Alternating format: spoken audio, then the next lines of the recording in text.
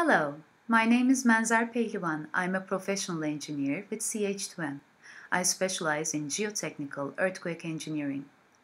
I would like to invite all South Florida families to join me on Saturday, June 3rd at the Museum of Discovery and Science for an afternoon full of hands-on engineering activities.